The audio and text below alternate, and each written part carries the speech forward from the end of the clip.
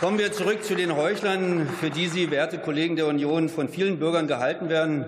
und äh, die Sie leider, ich sage extra, leider mit wenigen Ausnahmen, zum Beispiel Ihrem ersten Redner, sind.